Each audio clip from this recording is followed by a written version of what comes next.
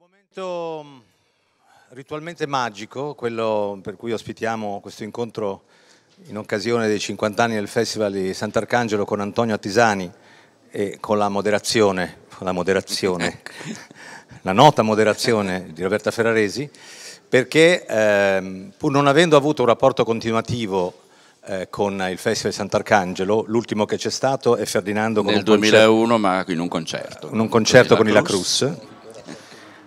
Eh sì, nessuno ha avuto un rapporto continuativo, ma noi, il nostro rapporto data però in un momento storico, il Festival di Sant'Arcangelo è stato un momento di svolta della storia dell'Elfo, perché è stato il momento in cui noi eh, ci siamo separati da Gabriele Salvatore, se abbiamo iniziato una nostra indipendente attività eh, di lavoro eh, e Sant'Arcangelo ha aspettato i primi due lavori di questo esperimento, Nemico di classe E e, Faust Game. eh, e Faust Game. C'è stata anche una nostra andata a Sant'Arcangelo con Leo, Sì. che stava pre- prepa- aveva in un'occasione particolare quello che si chiamerebbe un evento adesso. E C'era a- tantissima gente, si saliva sul palco, si faceva una cosa e si scendeva.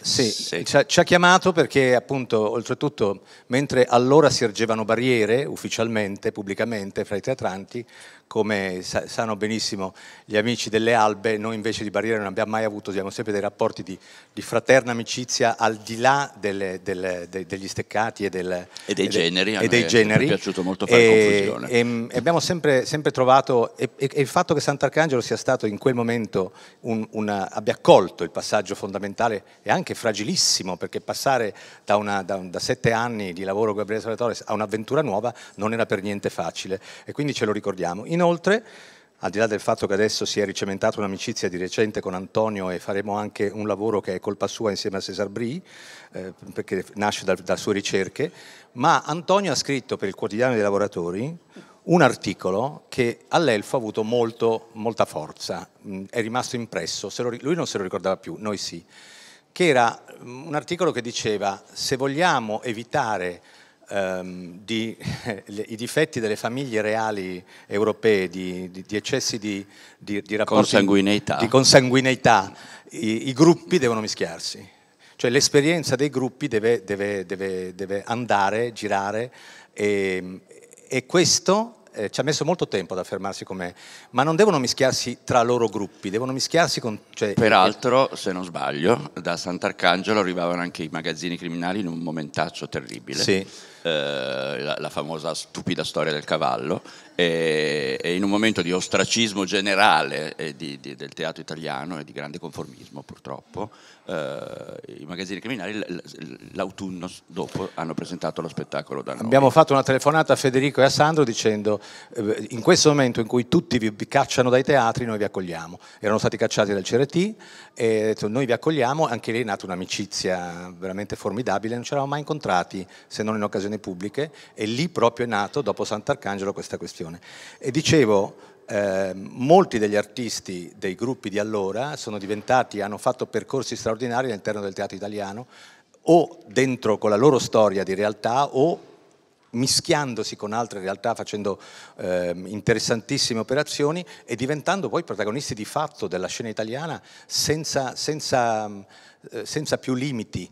E, e questo, e questo ricambio nel teatro noi non ce ne accorgiamo, ma perché ci sembra ancora di fare una fatica immensa, ma è la più grande risorsa che il teatro di quegli anni ha dato alla scena di oggi, perché se non ci fossero stati quegli anni la scena di oggi sarebbe molto povera e si sarebbe estinta. Dopodiché, eh, come, come dice i 50 anni di Sant'Arcangelo, noi li ospitiamo perché, come dire, non- non- ci è arrivata una richiesta, ci sembra molto bello che sia qui, qui c'è il nostro manifesto, che forse lo cambieremo fra un po'. È sporchino, Ma là sopra c'è, anche sporchino, ma là sopra c'è il vero manifesto di questo teatro. Il teatro dovrebbe essere soltanto un incontro di esseri umani, tutto il resto serve solo a confondere ed è di Ingmar Bergman, anzi per dirla giusta, Inimar Bergman. E credo che sia la fase più bella che si possa dire del teatro. Noi viviamo dentro quella frase e molti artisti del teatro vivono dentro quella frase, al di là di poi come vengono descritti nelle- nei, nei libri di testo e, ne- e accademici eh, i loro rapporti, perché sono rapporti di fraternità e lo vediamo in continuazione. E tra l'altro sono in prova, eh, Ermanna è in prova, Ferdinando è in prova, siamo- ci siamo dimenticati che stiamo rovinando le prove E a- a- di- e dei, dei debutti agli artisti, eh, però eh, non, c'era altra data per farlo e quindi eh, benvenuti. E adesso io invece devo scappare perché anche lì, destino strano, eh, per una strana serie di circostanze, io domani ad Abu Dhabi leggerò i versi di, Mari- eh, di Mariangela Gualtieri al femminile, cioè dirò tutto al femminile, perché non si può leggerli al maschile, sono stato cooptato da Silvia Colassanti e il suo quartetto d'archi per leggere quei versi e Mariangela ha fatto una suite di, di, di, da sue, mm, dalla sua opera poetica eh, per raccontare la terra, eh, il, Walking, Walking, on New Earth si chiama il, il pezzo in inglese, un, un, qualcosa in inglese e tutto il resto in italiano. Già già c'è il fatto di fare Mariangela che mi sembra una cosa impossibile dato il mio fisico. E io non ho mai sentito dire una, un verso se non da lei e quindi l'esperienza è traumatica, eh, non so perché, però quando me l'hanno detto io non ho detto di no. Perché? Perché io stesso mi mischio mi mischio con lei e sono felicissimo di fare. Poi con Silvia Colasanti, che è un'artista che prima ha lavorato con Fernando Bruni, poi ha lavorato con me, è diventata anche lei una grande amica perché anche i generi musicale e teatrale si superano con una forza incredibile di appartenenza al mondo del teatro d'arte, della musica e, e questa è la forza che ci, che ci ama tutti. Grazie. Grazie a voi, io vi saluto, vado da Cecov e, eh, e io vado da, mi spiace, da Mariangela Gualtieri e da Silvia Colasanti. Fine. Ciao a tutti.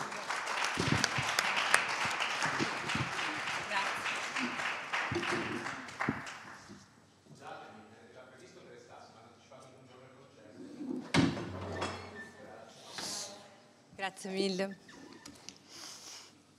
Allora, vi do il benvenuto a questo nuovo appuntamento di Costruire una storia, che è un ciclo di incontri che con il Festival di Sant'Arcangelo eh, stiamo organizzando in vista della cinquantesima edizione che cadrà nel 2020. Incontri che hanno come protagonisti le persone che negli anni hanno diretto questa manifestazione. Antonio Attisani è stato direttore due volte, nel 1981 per un solo anno e poi dall'89 al 93, in un passaggio storico estremamente delicato e significativo per il teatro, ma non solo, per la cultura, la società, la storia italiane. Vorrei cominciare proprio dalla prima edizione che hai diretto nell'81. Uh, si intitolava Mestiere e Sentimenti e, e chiederti, anche per introdurre eh, cos'è, cos'era il Festival di Sant'Arcangelo in quel momento, come si presentava al momento del tuo arrivo come direttore, come si presentava il festival fra anni 70 e 80 e quali erano le intenzioni con cui ti sei avvicinato a questo nuovo lavoro per l'edizione dell'81. Cerco di rispondere brevemente. Hai giustamente richiamato il titolo che abbiamo dato a quel festival, Mestiere e Sentimenti. Posso rispondere brevemente spiegandovi il perché di quel titolo.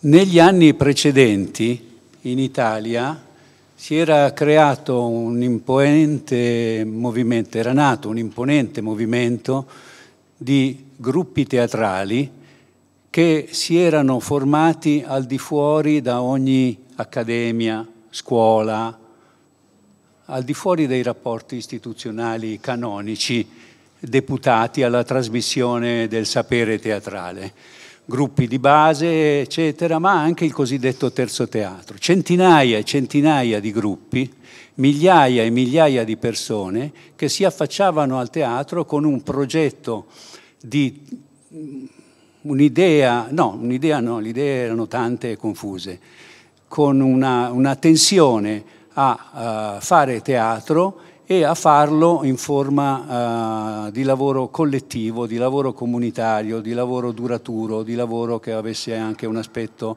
uh, sperimentale e che, fosse, che si potesse esercitare in, fuori, lontano dai luoghi canonici delle istituzioni teatrali. Questo movimento, in una condizione storica differente da quella di oggi, e, eh, relativamente al teatro eh, potremmo paragonarlo per capirci a, a, quello delle sardine. Cioè le sardine cosa sono? Sono l'espressione di un, eh, di, un, di un, malcontento che si risvolta in positivo, no? che, conosce, che diventa un sentimento, una domanda. Ecco, quelli erano i sentimenti i sentimenti a fronte dei quali eh, a me pareva necessario porre la questione del mestiere, cioè la questione della competenza, la questione della professionalità, anche se questa professionalità doveva avere una definizione nuova.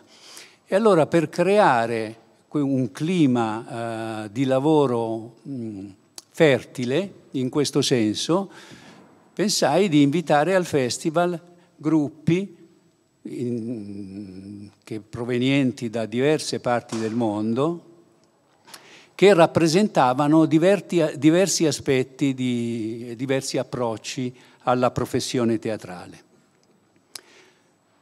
Questo eh, presuppose cioè, il fatto che i gruppi del cosiddetto terzo teatro, che dal 78 all'81, alla vigilia dell'edizione da me diretta, avevano, si erano impossessati, ma in senso positivo, del festival, lo avevano trasformato, la direzione di Bacci è stata una svolta decisiva e molto positiva, assolutamente propulsiva. Eh, però Bacci si era reso conto, dopo un triennio di direzione, di non poter proseguire, di non poter andare avanti. E per questo aveva incaricato me eh, proditoriamente, che mi sono ritrovato a cambiare mestiere perché fino allora dirigevo una rivista. Dunque io eh, consideravo i gruppi del terzo teatro come dei simbolici padroni di casa, ma ritenevo che sarebbe stato giusto invitare molte altre esperienze teatrali, appunto di tutto il mondo, perché si confrontassero tra di loro in modo da porre in modo concreto e in un rapporto di, appunto, di incontro, come diceva come diceva bene Elio, l'incontro non è mai, l'incontro non è una cosa pacifica e consolatoria. L'incontro può essere anche una cosa difficile, l'incontro passa attraverso una miriade di incidenti, eccetera. Quindi sapendo di rischiare in questo senso, no? invitare molte altre realtà teatrali. Alla fine di un festival, di un'edizione che andò benissimo da, mm, da, tutti i punti di vista, anche da quello del, degli scazzi, delle liti, dei confronti, delle diffidenze, eh, nel senso che ce ne furono molti, eh, la, il, la, le, le, le, le, quattro compagnie allora canoniche che costituivano una sorta di Vaticano del terzo teatro, eh, decisero che non ero stato degno della loro, della loro, fiducia e del loro mandato, per cui fui praticamente cacciato una settimana dopo, ci sono tutti i documenti d'archivio che lo provano. Questo è un po' l'81 in sintesi estrema.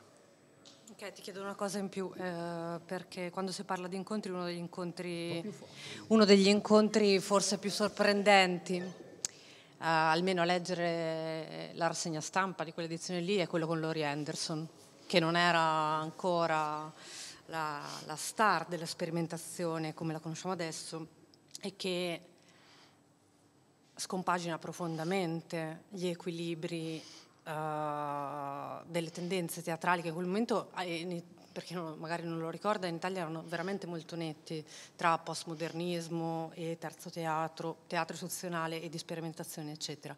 E, ehm, se, vuoi, se voglia raccontarci perché, la, come hai fatto a trovare Lori Anderson e che tipo di lavoro ha portato a Sant'Arcangelo? che ha così segnato l'impressione. Come ho trovato Lori Anderson è simpatico.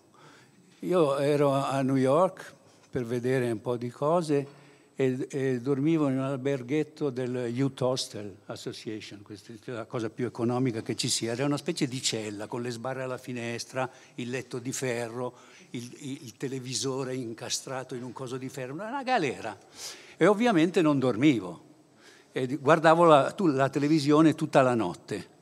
Ad un certo punto, guardando la televisione, vedo questa creatura bellissima, che comincia a parlare con la sua voce di donna e poi a poco a poco la sua voce si trasforma e comincia a parlare in tutt'altro modo. Era Laurie Anderson che usava il vocoder, usava questo strumento che trasforma la voce la, la sposta uh, anche di un paio di ottave. E cantava e spiegava quale fosse la sua idea di teatro.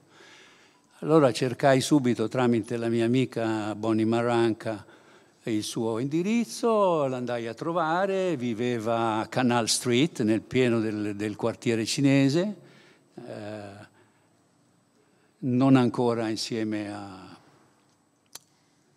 a Lurid. E vidi una sua performance. Allora la invitai a Sant'Arcangelo e dissi, no, devi venire. Dunque, erano scelte completamente, completamente istintive. Eh, adesso posso dire che, che, cosa mi interessava. Certo, sì, sì, contenuti, questa specie di, di anti-americanismo eh, molto intelligente, cioè di critica alla società americana, molto intelligente, era importante, certo, certo, certo, ma quello che mi interessava di più era... Eh, che mi ha sempre interessato, l'asse teatrale, cioè l'asse drammatico, la concezione di un teatro, cioè un luogo di conflitti, teatro come luogo di conflitti, come luogo di problemi, che in quel caso si manifestava con un recupero che allora ci appariva completamente nuovo dell'immagine, dell'elettronica, della musica e del canto era l'inizio di un progresso che si è continuato fino a oggi e che, ancora, e che ancora si sta sviluppando. Poi lei ha avuto anche la, la disgrazia, diciamo così, che l'ha resa poco leggibile al grande pubblico, di avere un successo mondiale con una canzone che tra l'altro aveva presentato in anteprima Sant'Arcangelo, O Superman o Superman, eh, eh, Sant'Arcangelo in luglio diventò un mm, numero uno nelle liste dei, dei, dei, dischi e delle canzoni eh, mondiale in ottobre. E quindi lei è stata conosciuta in tutto il mondo e anche mm, consumata in tutto il mondo come, come cantante e performer minimale, ma in realtà il suo era un percorso, un percorso teatrale. Questo è il motivo per cui è venuta ed è venuta con grande umiltà, ha fatto un seminario, abbiamo organizzato la festa del 4 luglio, festa, il giorno dell'indipendenza americana, la festa con la corsa dei sacchi, il watermelon, tutte queste cose. Mm, e questo, alcuni appunto consideravano tutto ciò magari superficiale, un'americanata, e invece altri hanno capito che questo era il segno di un modo di stare nel mondo, nel mondo di oggi, in quel mondo, in quel mondo lì che viveva quelle contraddizioni, perché l'81 è anche l'anno del colpo di Stato in Polonia, eh, poco, i giorni precedenti del festival, precedenti il festival, tutti quanti inchiodati là, davanti alla televisione per 36 ore a vedere Vermicino in diretta, la morte in diretta c'era tutta l'Italia in piazza, eravamo a, a guardare la televisione. Cioè erano momenti di, di, di cambiamenti, erano uh, finiti gli anni di piombo, stavano cominciando il decennio successivo che altri hanno definito gli anni di merda, ma ingiustamente perché in effetti gli anni Ottanta, poi magari ne parleremo, gli anni Ottanta sono stati anche ricchissimi di fermenti, anche se con difficoltà di tipo nuovo. Quindi la presenza di Laurie Anderson eh, fu interpretata come una provocazione da parte mia, soprattutto nei confronti del piccolo teatro, dei, dei, dei, come si chiama, dei, dei terzo teatro, cioè questo teatro mh, mm, moralistico, scalzo, serioso, eh, poco professionale, eh, pieno di buone intenzioni, che costituiva più o meno un partito all'epoca, era un partito, non era un movimento, era, un partito, era già un partito, solo che è un partito che come appunto i partiti del cavolo, come i 5 Stelle, erano destinati a... Partiti qualunquisti durano poco. Comunque questo tipo di aperture apre anche a Sant'Arcangelo una dimensione diversa del teatro molto più uh, molto molteplice negli anni Ottanta. Infatti ne parliamo subito di cosa è successo dopo. Volevo chiederti um, la, la, prima edizione del tuo secondo mandato come direttore artistico, che è un mandato più lungo, più articolato, con un progetto pluriennale, inizia nell'89 un anno insomma, anche, anche, esso piuttosto significativo per tantissimi motivi, soprattutto fuori dai teatri. Si intitola questa edizione dell'89 Rivedere l'orizzonte che suona quasi come un programma, poi andando a vedere anche il tipo di scelte che vengono fatte nel merito. Volevo chiederti cos'è successo lungo gli anni Ottanta da questa dimensione di suddivisione interna del mondo teatrale, della sperimentazione in Italia e forse anche fuori dal teatro, appunto, a voler rivedere alla fine degli anni Ottanta radicalmente l'orizzonte. Beh, no, dai. Insomma, sono, sono, successe un bel po' di cose. Nell'89 c'è il muro di Berlino, la fine del comunismo, ce n'è di roba, eh, si sentiva sulla pelle. A Sant'Arcangelo, nel piccolo di Sant'Arcangelo era finita, eh, era finita l'epoca dello stradominio del Partito Comunista Italiano. Ti ricordi, Tonino? Questa, questa maggioranza era, era finito, era finito e c'era io sono stato, eh, dopo essere stato licenziato, ho evitato il festival per tanti anni, ovviamente. I festival, tra l'altro, non mi piacciono, sono sempre una sindrome di Stendhal, i festival, li trovo detestabili, ci sono un sacco di cose da vedere, non sai mai che cavolo vedere, vedi sempre la cosa sbagliata, mai quella giusta. E poi vai via, ti dicono, eh, ma ti sei perso quello. Eh, allora lo vedi tre anni dopo dici, ma che mi sono perso quello? E insomma, non, non è una gran cosa. A Sant'Arcangelo ci sono tornato fondamentalmente per due motivi, anzi diciamo tre. Uno oggettivo, cioè che loro ad un certo punto si sono messi a litigare fra di loro, direzione artistica, politici, PSI, PCI, PTC, si sono messi a litigare ferocemente e eh, questa situazione non consentiva di rinnovare il mandato come direttore artistico a Roberto Bacci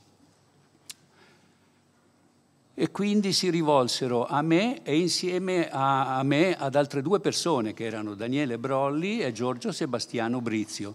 Giorgio Sebastiano Brizio era anche critico teatrale dell'Avanti e quindi parava diciamo un po' eh, dalla parte del Partito Socialista, Daniele Brolli era invece un intellettuale indipendente, scrittore, eccetera, riminese tra l'altro, e io ero uno che ci stava. E perché ci sono stato? Ci sono stato prima di tutto perché ero in una situazione soggettiva molto difficile, una situazione lavorativa, non si guadagnava una lira. Fare il critico teatrale come ero diventato, non, proprio, era una vita molto e quindi quella è stata un'opportunità di lavoro. Ma il secondo motivo per cui ho accettato è che l'invito a dirigere il festival era contestuale a un'idea, a un progetto di costruire un teatro a Sant'Arcangelo, un teatro che fosse anche residenziale e quindi Sant'Arcangelo sarebbe diventato un centro teatrale capace di realizzare un'attività permanente.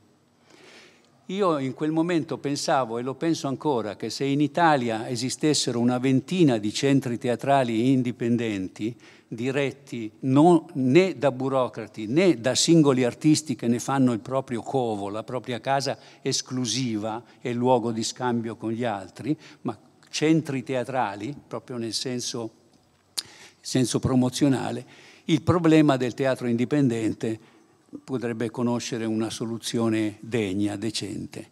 Accettai per questo motivo. Mi trasferii immediatamente a Sant'Arcangelo, credo di essere stato l'unico direttore che abbia vissuto a Sant'Arcangelo per tutto il periodo del proprio incarico, lavorandoci tutto l'anno e cercando di realizzare questo progetto che ovviamente non si è mai realizzato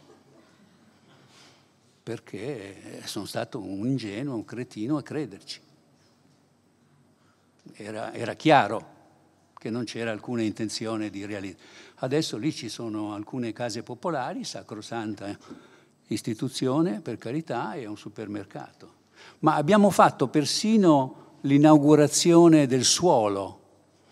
Eh, eh, l'architetto seppellì la sua preziosa penna, no? Con Reme Cap sempre. No, con Reme Cap, l'architetto del teatro. Sì, sì, ma c'era anche... Gaudenzi. E, insomma, l'inaugurazione del sito dove dovevano cominciare i lavori da un momento all'altro. Sì. È l'Italia ragazzi, è l'Italia, il bello dell'Italia. La tensione a trascendere la forma festival, andare verso un'attività permanente, eh, operativa tutto l'anno, è una delle linee, forse la linea diciamo, che caratterizza la tua seconda direzione artistica al festival, ma è anche una linea più lunga che in realtà attraversa l'intera storia del festival fino a questi, a questi ultimi anni qua. Um, la, il progetto di costruire il teatro è una delle, delle attività in cui questa diciamo, idea, questa volontà cerca di realizzarsi, poi magari non riesce del tutto, però è anche vero che forse con la tua direzione artistica e l'intenzione, la volontà di trasferirsi lì con la famiglia, lavorare tutto l'anno, è una delle fasi, forse la prima fase in cui questa tensione l'attività permanente comincia a concretizzarsi. Anche su altre linee, che non sono appunto quella della costruzione di un edificio teatrale che non si è mai concretizzata. Eh, poi magari parliamo anche dei luoghi altri del teatro Sant'Arcangelo. Quindi volevo chiederti che tipo di progettualità hai messo in campo? Perché Antonio ha accettato di dirigere il festival per l'89 con queste altre due persone, Brolli e Brizio, poi gli viene dato un mandato di più lunga durata e ci sono dei progetti diciamo, anche di collaborazione con gli artisti che nonostante appunto manchi l'edificio teatrale però hanno una loro continuità, una continuità tutto l'anno e negli anni. Sì, eh, rivedere l'orizzonte era appunto il titolo del festival dell'89. Rivedere l'orizzonte voleva dire dimenticarsi dell'orizzonte ristretto, rompere, infrangere l'orizzonte ristretto che si era imposto nel quasi decennio precedente e con, di nuovo riabbracciare una gamma di esperienze teatrali su scala perlomeno europea. Sant'Arcangelo cambiò nome, certo, Sant'Arcangelo dei teatri d'Europa è scritto, cioè il punto di riferimento doveva essere l'Europa per ricominciare. Un teatro europeo, un teatro di scambi europei, in quel senso rivedere l'orizzonte. E la, la, l'indice degli inviti l'indice degli inviti eh, ribadisce questa cosa. Dopodiché, con le limitatissime risorse del festival non si poteva fare molto.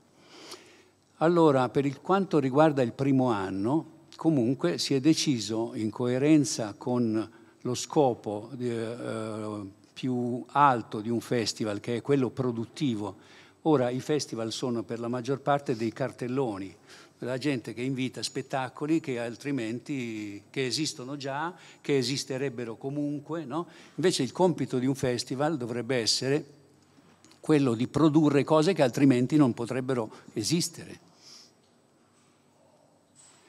E questo si poteva fare in pochi casi. Il primo caso nell'89 fu quello di Marco Baliani e della compagnia di circa, di quasi, quanti erano? 30 o 40 attori, 30 o 40 attori giovani che lui stesso chiamava attori-autori perché molti di loro erano, erano attori-autori, cioè non erano semplici interpreti. E poi l'hanno dimostrato con la loro carriera successiva, che montarono uno spettacolo, un unicum tratto da Calvino nella Villa Torlonia, Villa Pascoli, e quella era una produzione del festival, fu un, una produzione del festival che si riuscì a fare con, con una cifra che, con cui la scala fa un costume. Peraltro brutta, se avete visto la Tosca sembrano dei confetti, quella poveretta sembra un confetto. E, però si riusciva in questi, in, questi, in questi miracoli ed erano miracoli vitali perché questi spettacoli, nonostante potessero essere ehm, discutibili, lo erano per definizione perché erano veramente lavori, lavori, sperimentali, ma erano lavori che mettevano all'opera energie nuove, energie che hanno, infatti hanno continuato. Voi leggete adesso i programmi del festival di quegli anni, trovate un sacco di nomi noti, dice, eh, vabbè, allora potreste pensare, ma ah, allora era facile, eh, eh, prendi questo. No, quelli erano sconosciuti sconosciuti. Baliani era la sua prima prova con, le, con il teatro per adulti, aveva solo fatto teatro ragazzi, teatro per i ragazzi fino a quel momento. E così anche per le albe fu una grande occasione. E le albe, una grande occasione una grande dimostrazione anche di, come dire, veramente un altro orizzonte mentale, un altro orizzonte estetico, un altro orizzonte etico, il lavoro con eh, gli immigrati provenienti dal Senegal, il, la dislocazione dello spettacolo in uno spazio fuori Sant'Arcangelo, all'aperto, assolutamente anomalo e anche difficile da gestire, sempre con i limitati mezzi, perché eh, per gestire i vasti spazi ci vogliono mezzi imponenti. E noi siamo riusciti in un certo senso a fare le nozze con i fichi secchi, sono riusciti loro, sono riusciti a fare le nozze con i fichi secchi e eh, si è ricominciato a vedere l'orizzonte. E l'orizzonte poi si sposta continuamente, l'orizzonte oggi è arricchito da molte di quelle presenze. Devo dire, ieri ho visto quel programma dell'89 per la prima volta da allora, non ce l'ho, adesso l'ho preso. Ci sono anche no, alcuni nomi che sono scomparsi, ma questo non significa che siano state esperienze fallimentari. Sono scomparsi, qualcuno sì perché ha capito onestamente che il teatro non era la sua strada ed è andato a fare altro, ma molti sono scomparsi nel senso che si sono, uh, si sono inseriti in altre esperienze, in altre storie, magari anche di carattere strettamente teatrale o magari anche di altro, di altro carattere, sempre nell'ambito, nell'ambito culturale e soprattutto dello spettacolo. E quindi che ci sono ancora, hanno fatto l'orizzonte successivo. Sant'Arcangelo non è stato ovviamente protago- l'unico protagonista di questo processo, è stato uno dei protagonisti di questo processo, un catalizzatore. Allora si poneva la questione anche, la, che, che, che si pone ancora oggi, cioè il teatro non è un'attività che possa esistere senza aiuto pubblico, non è un'attività che possa esistere sul mercato, punto e basta, soprattutto quando ha certe caratteristiche certe caratteristiche qualitative. Allora eh, Sant'Arcangelo eh, era mh, proponente di un'idea anche legislativa che un uno dei progetti di legge che allora, allora pullulavano i progetti di legge, uno dei progetti di legge che allora furono formulati, avanzati e che sembrava alla vigilia di essere approvato, aveva addirittura adottato. L'idea cioè che si dovesse distinguere serenamente in Italia fra tre tipi di teatro. Il teatro pubblico, il teatro privato commerciale e il teatro indipendente. Tre eh, tipi di teatro, tre generi di teatro che eh, avrebbero dovuto essere assoggettati a regimi diversi dal punto di vista fiscale e dal punto di vista delle sovvenzioni. Per quanto riguarda il teatro indipendente, si proponeva che eh, non di stabilizzare le compagnie. Questa è un'idiozia, perché questo significa decidere sul valore della gente. Invece si proponeva di creare appunto un centro, Sant'Arcangelo un, doveva essere uno di questi centri, un centro teatrale non gestito da una compagnia, non identificato con una identità artistica e che ospitasse, ospitasse diverse realtà teatrali. Le ospitasse per la produzione, quindi era prevista una foresteria, il fatto che ci si potesse abitare e lavorare a lungo. No? E, ehm, e poi anche eh, che svolgesse quindi un lavoro di ospitalità, di programmazione vera e propria, in questo senso restituendo anche un servizio al territorio, perché i festival sono una roba mh, politicamente perversa, anche in questo senso. Sono, eh, eh, e, e, li fanno i migliori i festival, li fanno i migliori, diciamo i poteri pubblici migliori, meno peggio fa, fanno i festival, però sono una cosa perversa, perché significa investire pochi soldi in una iniziativa concentrata nel tempo, che fa parlare di sé, che dà molto riscontro stampa, che dà molto, almeno allora lo dava, riscontro di consenso, e che però ti esime dal fare una politica culturale tutto l'anno per i tuoi cittadini, porca vacca, no? perché bisogna lavorare per i propri cittadini, per il proprio territorio, per il proprio contesto, bisogna offrire alla propria popolazione qualcosa che ci sia sempre, non si, non si può fare una settimana all'anno di festa e tutto il resto quaresima, no? perlomeno eh, in questo senso. E quindi c'era questa idea, e questa idea è una delle altre idee, forse velleitarie, indubbiamente velleitarie, presuntuose, di fatti mi ridevano dietro già allora, non tutti, e hanno, hanno, avuto ragione, hanno avuto ragione perché non si è realizzato niente di tutto ciò in Italia. Sì, poi ci tengo a sottolineare per chi non lo sapesse che queste cose, queste prospettive sui festival, Antonio le scrive, cioè non solo le diceva, ma più vicina, molto più attaccata, più così. Sì, goditela, goditela, così parla. Le scriveva già all'epoca e prima, cioè tra le due direzioni artistiche anche durante.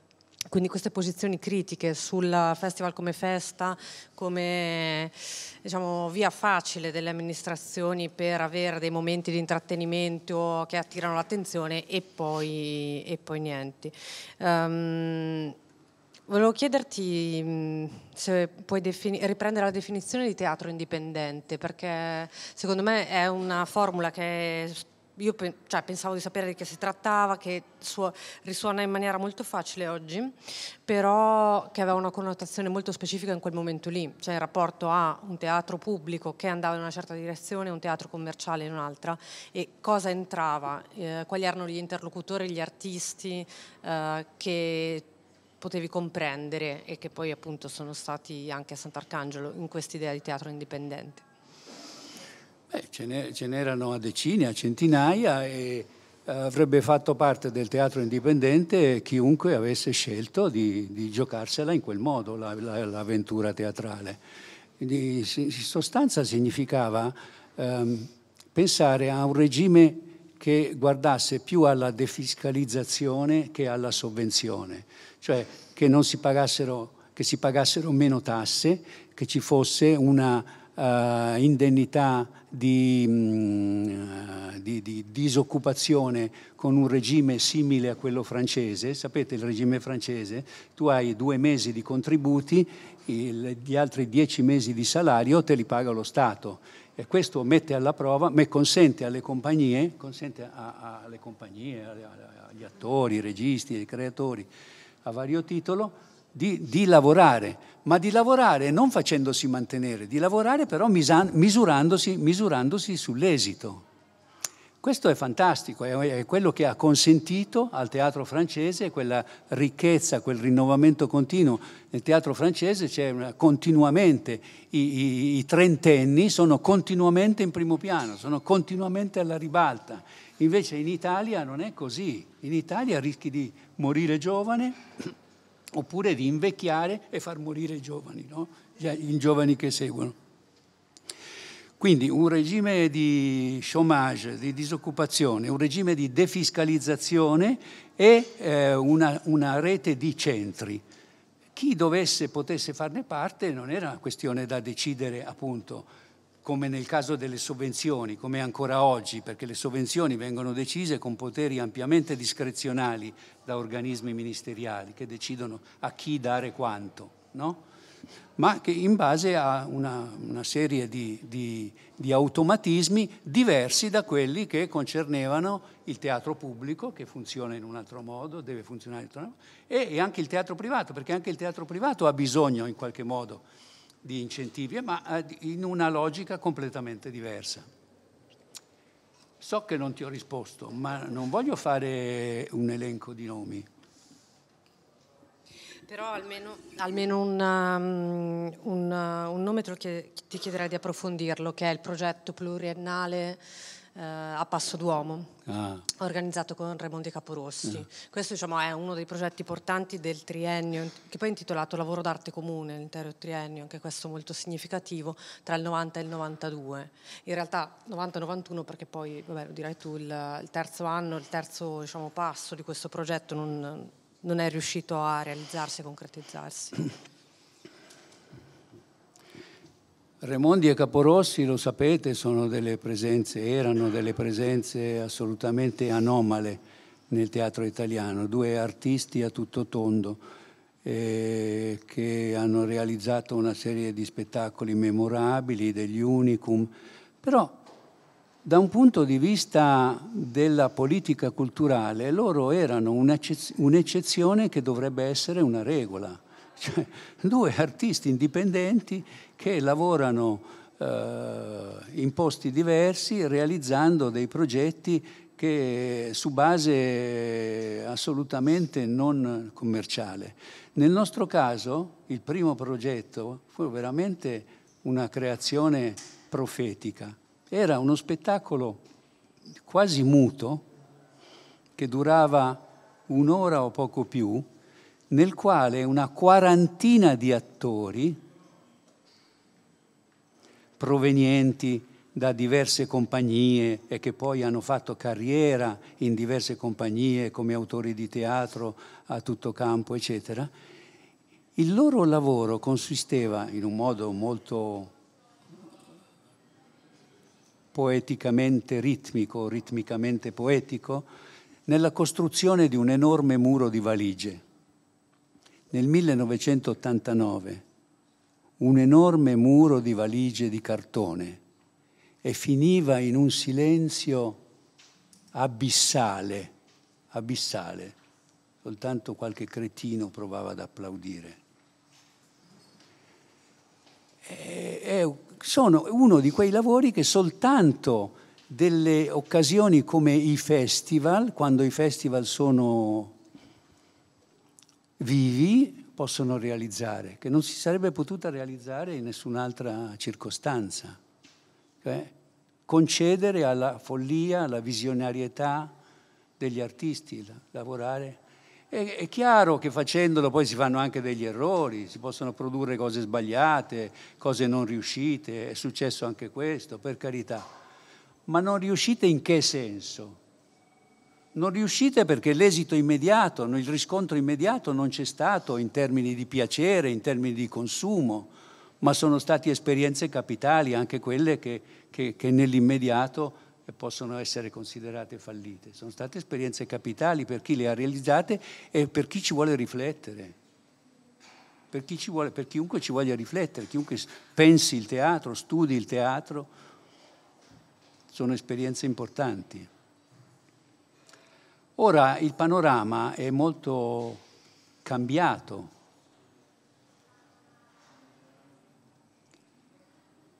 Allora si è molto seminato e oggi qualcosa di questo seminato si vede. C'è in tutto il mondo c'è un significativo movimento di compagnie teatrali che sta nascendo, compagnie teatrali che si intendono non più come comunità, ma come associazioni, non gente che vive insieme, ma gente che lavora insieme. Associazioni che lavora, di gente che, insieme, che lavora insieme per tanto tempo, ma non per sempre, fino a che uno magari non trova, fino a che uno trova la propria ragione di esserci.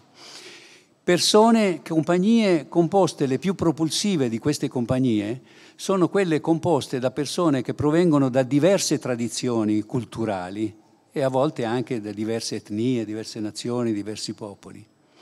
Perché questa è una cosa fondamentale. Ogni genere oggi, ogni gender è in decadenza. Questo culto dei gender è una delle pesti del nostro tempo che sia il femminismo oppure il teatro di un certo tipo. È una delle pesti del nostro tempo. Il vero lavoro da fare è transgender. Nel teatro bisogna riportare, il teatro è, già di, di, natura transgender, perché in teatro uno si mette alla prova e scopre quello che è, scopre quello, scopre quello che può fare, quello che sa fare, trova la propria strada, no? che a volte diverge dal teatro il secondo elemento. Il terzo elemento che si sta restaurando è il, il laboratorio, cioè accanto al lavoro di creazione delle opere c'è un lavoro, un tempo dedicato alla formazione, un tempo dedicato all'esercizio quotidiano, la costruzione dell'habitus, l'esercizio come costruzione dell'habitus. È un tempo dedicato alla sperimentazione, anche la più gratuita, la più estemporanea. E infine questo fronte nuovo di compagnie di realtà teatrali è il luogo in cui si sta con più o meno coscienza, con più o meno consapevolezza, con più o meno investimento sistematico di intelligenza, ma è comunque il luogo in cui si sta procedendo a una, quella che noi chiamiamo a Mecri, la riunificazione delle arti dinamiche, cioè un teatro nel quale la recitazione, quello che si chiamava la recitazione, il canto, la danza, la poesia, si fondono. Ma non si fondono come nel musical, perché nel musical non si fondono, sono semplicemente compresenti. Vanno benissimo anche i musical, per carità.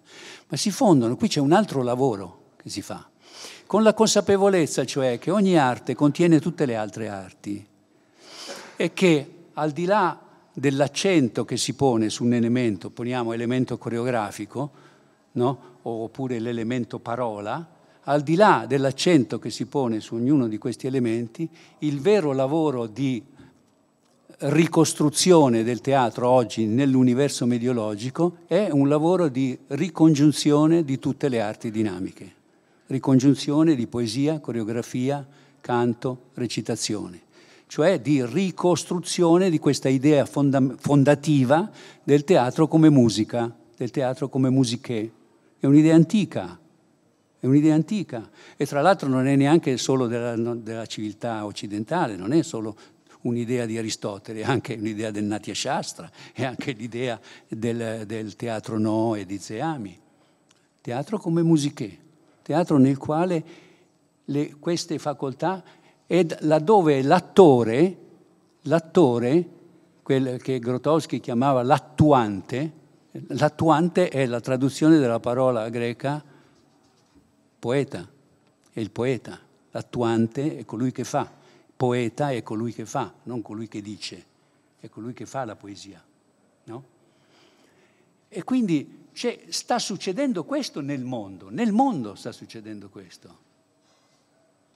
Eh, ci sarebbe il lavoro da fare, dovrebbe consistere nel aiutare, nel favorire questo movimento, nel favorire la crescita di questo movimento, sempre, sempre tenendolo a confronto con le grandi tradizioni, con le grandi tradizioni conservative per esempio con la grande tradizione italiana del teatro di interpretazione. Noi italiani abbiamo insegnato al mondo, ai russi, agli americani, l'interpretazione, il lavoro di interpretazione, l'attore interprete, l'abbiamo insegnato al mondo, noi l'abbiamo insegnato al mondo. Stanislavski, Merhold teorizzano cose che hanno imparato dagli italiani, le sviluppano ovviamente, sono dei geni a loro volta. No? E quello è, quello è un altro modo, quindi bisogna tenerle tenerle, e se ci pensiamo bene, eh, se andate a rileggere eh, gli scritti postumi di Nietzsche, trovate esattamente questa indicazione, perché Nietzsche ad un certo punto fa una sorta di autocritica e dice, sì, l'attore dionisiaco che io invocavo eh, nello Zarathustra, diciamo, eh, contro il commediante, eh, in realtà no, non va bene, è un, è un, potenziale suicida l'attore. Bisogna che l'attore sia anche un po' commediante, cioè che non si prenda troppo sul serio, perché se si prende troppo sul serio va a finire male. Mm? Adesso detta in soldoni, visto che dobbiamo... Chiaro? Quindi qualcosa si è seminato qualcosa è nato, qualcosa sta succedendo e ci sarebbe molto da fare volendo. Stanno succedendo un sacco di cose belle nel mondo. Bisognerebbe eh, rimetterle nell'orizzonte, metterle nell'orizzonte. Posso chiedere un'altra cosa? Eh, Controlla tu. Sì, chiedo, ti chiedo un'ultima cosa, poi magari diamo la parola anche alle persone che sono qui se vogliono chiedere o fare qualche intervento questo tipo diciamo, di aperture, aperture all'interno del mondo teatrale fra anni 80 e 90, però anche aperture verso l'esterno del, um, del, teatro, verso altri contesti che all'epoca erano, uh, vibravano di pulsioni nuove, forti nella musica, nel pensiero, in ambito geopolitico. A volte non solo durante le tue direzioni artistiche, ma forse lì è la prima volta che capita, portano anche mh, o a delle ricadute inaspettate, dicendolo insomma in maniera soft, o anche a degli scandali. Mm. Perché l'incontro, come dicevi prima, cioè, c'è un rischio di conflitto e quando in questa dimensione di transdisciplinarietà, di attraversamento eh, tra ambiti differenti, alcuni cortocircuiti forti ci sono stati, vorrei dire praticamente quasi tutti gli anni, però eh, ogni anno ci sono state diciamo, delle aperture, oltre la forma festival, oltre la presentazione di spettacoli, opere e arti sceniche nelle tue direzioni artistiche che hanno portato all'incontro con l'altro, l'altro dal teatro, e che hanno segnato in maniera forte quelle edizioni. Sì, eh, ogni anno c'è stato uno scandalo. Mm. È vero. D'accordo, ma perché? Perché ragazzi, dove c'è libertà c'è conflitto. Più c'è libertà, più c'è conflitto. Più c'è democrazia, più c'è conflitto. Ovviamente. Chiunque può prendere la parola e dire ma che cavolo fai? Come ti permetti di invitare un fascista a fare uno spettacolo al festival? Sì, chiunque può farlo. Come ti permetti di invitare eh, i tibetani, le loro pretese di indipendenza quando invece sono stati civilizzati dai cinesi che hanno, che hanno soltanto dei meriti nei loro... Come ti permetti, Eva Robbins, come ti permetti... Ogni anno c'è... Ma questo è, è assolutamente naturale. La democrazia è anche il regno di tutti, i cretini compresi bisogna metterla nel conto. E Sant'Arcangelo c'era qualcuno, c'era una solida difesa di questo principio. Te te lo ricordi Giovanni, con Cristina Garattoni. Cristina Garattoni, sindaco comunista, ha mandato a quel paese l'ambasciatore cinese. Ragazzi, non so quanti altri l'avrebbero fatto.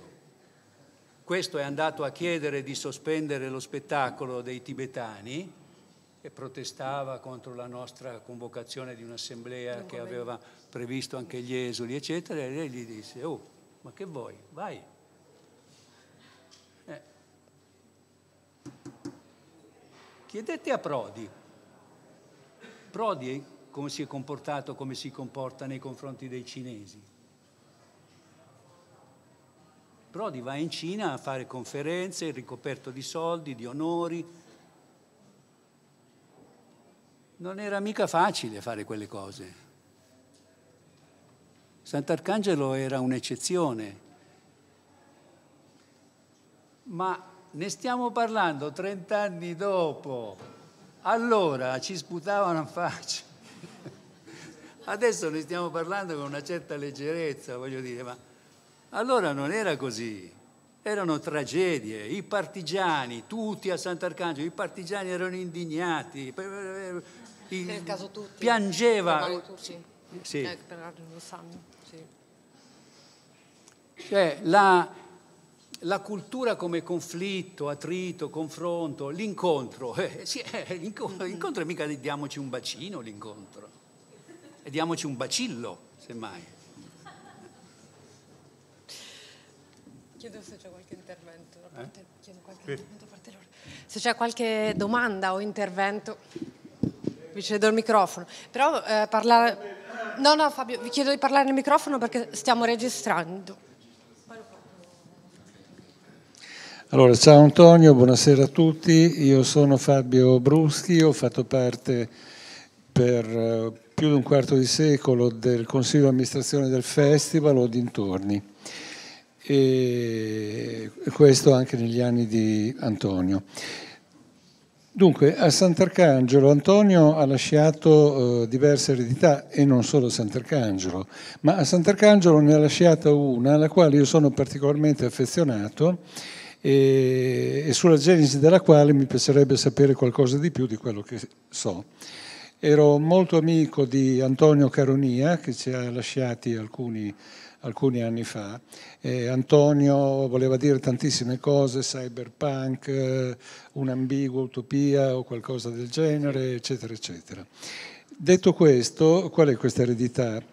L'eredità è che nel 1990, quindi credo nella seconda edizione del ritorno di Attisani, eh, arrivano a Sant'Arcangelo da Londra, in realtà era un gruppo nomadico che si era anche insediato in altri luoghi, in Europa e non solo, ma insomma lo hub di questo gruppo era, era Londra. Questo gruppo si chiamava e si chiama tuttora Mutoid Waste Company erano un gruppo nomade, eh, diciamo di, tra l'altro il nomadismo, un certo tipo di nomadismo nelle isole britanniche noi non lo conosciamo, non sono zingari, insomma, e con la Thatcher che era al potere da 11 anni, 79, e si trovavano in grosse difficoltà perché la Thatcher aveva fatto leggi draconiane per limitare questo tipo di fenomeni. Eh, questo è il rendiconto che ho avuto da diversi di loro, in modo particolare da Nicky, un'altissima cavallerizza eh, scozzese. Ehm, la domanda è questa, Antonio. Tu come sei venuto a contatto con i mutoid e in questo contesto c'è stato un ruolo, e se sì quale, di Antonio, l'altro Antonio eh, Caronia. Ecco, questo mi interessa moltissimo. Eh, I mutoid me li ha, li ha segnalati al festival Daniele Brolli, che li conosceva, eh, ce li presentò, eh, li andammo a conoscere, fummo immediatamente d'accordo e li li invitammo a Sant'Arcangelo. I mutoid ci sembravano uh, parte di un movimento, uh, come dire, proto-teatrale o pro-teatrale, cioè assolutamente pertinente, non come un fenomeno, un fenomeno esterno. Certo, avevano una loro idea anche comunitaria e una loro uh, estetica basata uh, essenzialmente sul gioco ma erano anche, cosa che è stata poco rilevata, erano degli artisti, degli artisti ricercatori, degli artisti che perseguivano una, una, una poetica determinata, la sapete, costru, questa costruzione di macchine, di macchine immaginarie. E dall'essere invitati semplicemente al festival, così sono diventati la presenza più stabile di Sant'Arcangelo perché sono ancora lì dopo 30 anni. Sono riusciti a fare permanente. Gli unici a fare l'attività permanente sono loro. Vedete? Appunto. Non si possono... Un festival non è un, un progetto intelligente, col cavolo, un progetto intelligente è una cosa chiusa. È un modo di seminare un festival deve essere un modo di seminare, non, non bisogna prevedere i risultati, bisogna seminare le cose giuste, seminare con intelligenza. I risultati sono sempre imprevedibili. Adesso siamo ai nipoti. Ah. Hanno fatto figli e siamo nella fase di... Caronia, è nato così il rapporto con Caronia. Caronia era uno degli invitati Beh, avevamo fatto una cosa insieme all'Umanitaria, un, un piccolo festival multimediale, eccetera. Uno degli invitati a una rassegna milanese che si chiamava Rassegna Milanese con ospiti, nella quale c'erano anche le albe. Caronia era presente con la sua cosa, lì conobbe le albe e nacque eh, un rapporto di collaborazione con le albe. Furono le albe poi a invitare Caronia a Bagnacavallo, altra capitale del teatro europeo, a realizzare alcune cose apparentemente estemporanee, in realtà erano, erano, tutte sinergie, erano tutti incontri appunto, incontri fra diversi. Ma viva Dio, noi non avevamo il culto del gender che adesso è subentrato e che si sta trasformando questo mondo in una serie di ghetti e di corporazioni.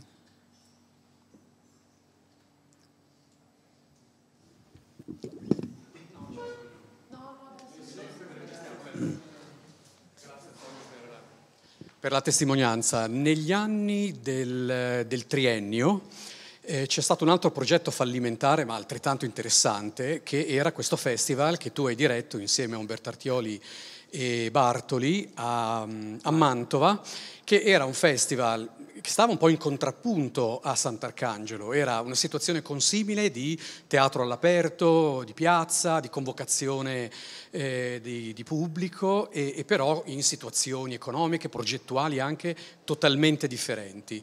Mi chiedo, siccome molti gruppi che partecipavano alla tua Sant'Arcangelo hanno avuto una sorta di eh, eh, vita lunga a, a, a, Mantova, quindi anche mischiando le carte di quel progetto eh, mantovano eh, che aveva tutt'altri numeri, tutt'altri budget e così via, mi chiedo come abbiano eh, lavorato in termini progettuali, artistici eh, nel tempo questi due progetti nel tuo lavoro di direzione artistica.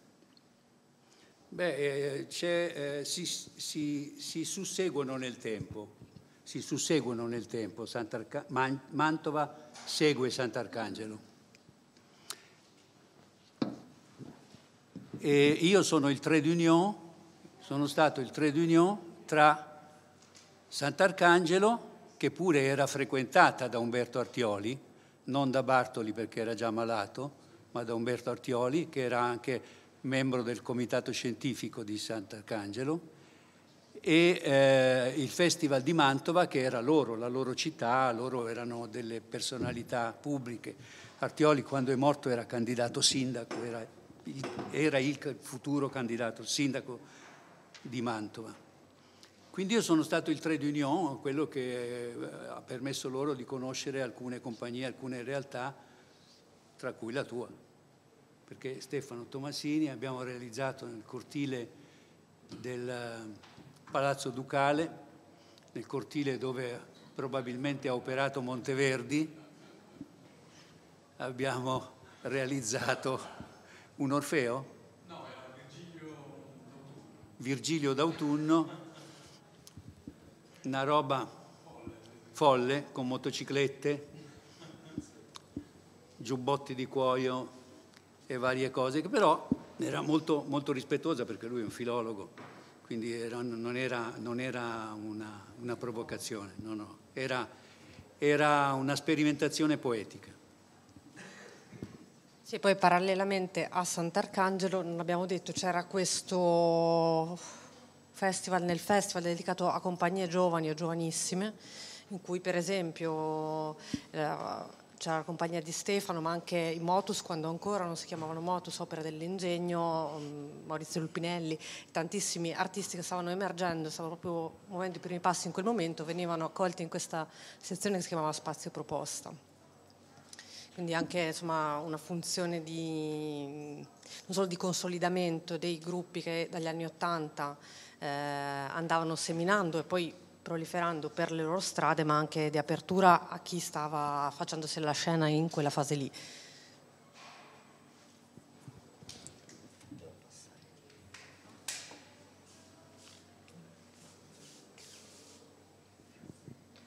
Eh, sono Giovanna, ciao Antonio, ciao. ciao. Um, tu pensi che si possa definire la direzione di allora come una direzione autorale? Nel senso che la direzione aveva un segno eh, così forte da imprimere una sua autoralità. Beh, eh, il direttore artistico di una, artistico, eh, di una istituzione come il Festival del Sant'Arcangelo Il 90% del suo lavoro è un lavoro da bidello, organizzatore, è un lavoro amministrativo, cioè non è lavoro artistico. Il 90% del tempo se ne va per altre cose. Però fatalmente organizzare un festival, cioè decidere chi c'è, chi non c'è, che cosa fa, significa fare la regia dell'evento quindi un ruolo autorale, bene o male, ce l'hai, anche se non vuoi averlo, anche se pensi di non averlo, anche se fai il modesto, ce l'hai, ce l'hai. Io cercavo di farlo in base a quei principi, però sempre bestemmiando come un turco per la mancanza di mezzi e la mancanza di tempo. Sì, certo, sei un autore, sei costretto a essere un autore, certo.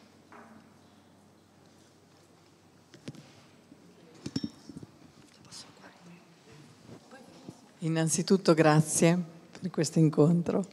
E la mia domanda è più personale, che cosa ti ha lasciato la direzione di Sant'Arcangelo e quanto ha contato poi nel tuo ricco percorso professionale? E se oggi tu venissi chiamato a dirigere un festival, lo faresti oppure no? Che cosa mi ha lasciato è probabilmente qualcosa che si vede ma che io non so qualcosa che è diventato la mia carne, quello che sono. Quando l'esperienza di Sant'Arcangelo è finita, per me è stata una liberazione, perché andare a fare il professore universitario, ho scoperto, è stato come vincere la lotteria, avere uno stipendio decente e essere assolutamente libero, per la prima volta in vita mia, libero di studiare, per esempio.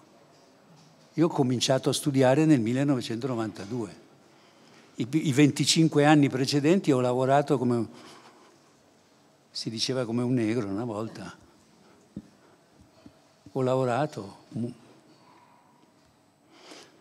in nero, in nero, però questo si può dire perché è scientifico, senza un soldo di contributi.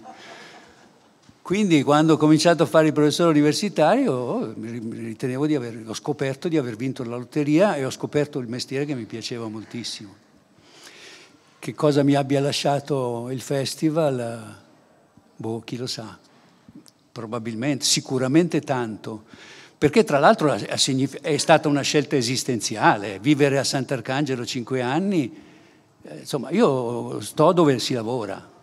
Secondo me bisogna stare dove si lavora, non capisco gli eclettici che stanno in una città, vanno a insegnare in un'altra, non, non li capisco. E quindi certo, certo che mi ha segnato.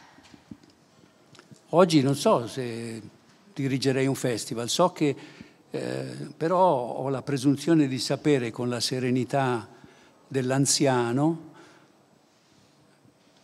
che cosa si potrebbe fare ed è qualcosa di relativo a quel, a quel movimento, a quella dinamica che cercavo prima di indicare.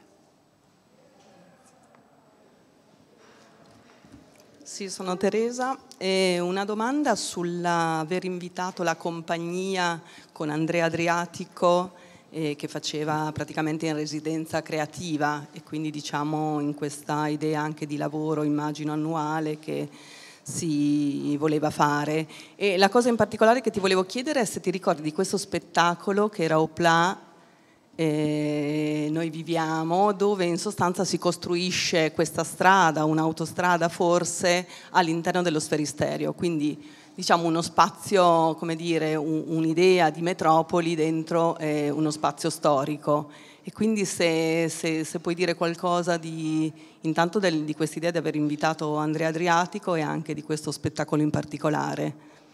Andrea Adriatico l'ho conosciuto eh, in una soffitta di Bologna, faceva un testo di Pasolini, piccolissimo, con Iris Feigl e ho capito subito che era un, un talento registico. Lui era ancora studente e con uno dei colpi di coda che allora mi potevo concedere gli ho dato grande spazio a Sant'Arcangelo, la produzione principale del festival. Lui se ne ha approfittato, giustamente, bene.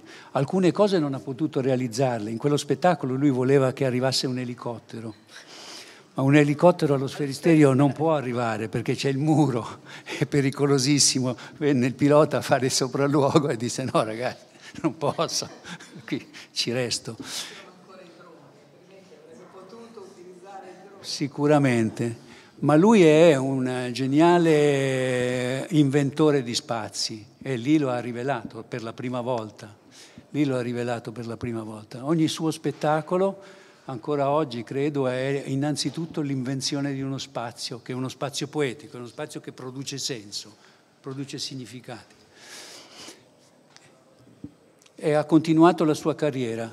Quando nel 93 io ho, dovuto, ho, ho voluto lasciare il festival perché volevo dedicarmi all'insegnamento universitario, e non ritenevo di poter fare le due cose insieme, indicai a Marina Garattoni lui come futuro direttore. Ho detto, secondo me sarebbe la persona giusta. Ma Marina Garattoni era innamorata di Leo Cristina, De Berardini. Cristina. Cristina, cosa ho detto? Marina. Ah, Marina, la cugina. Scu- sì. Cristina era innamorata culturalmente, ovviamente, un amore, un amore culturale, un amore politico un amore, di Leo e giustamente procedettero in quel senso. Ma secondo me sarebbe stata la scelta più giusta, perché se un giovane come Adriatico avesse ripreso il lavoro da quel punto. Mentre Leo è stato un po' più simile a me in un certo senso, cioè realizzava dei sogni irrealizzabili. Eh, invece con Andrea si sarebbero fatte delle cose più anche pop, se vogliamo.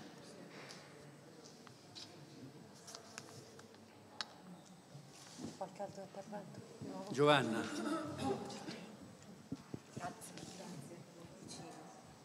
Ehm, è stato un dispiacere per te non lasciare un'eredità.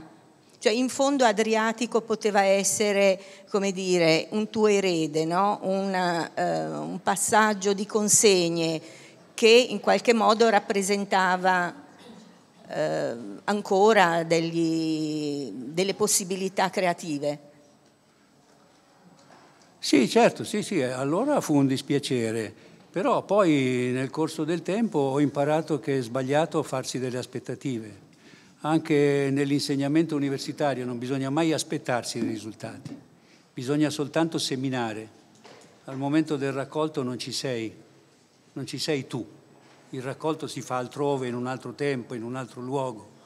Quindi è che la gratitudine non è di questo mondo, anche questo ho imparato.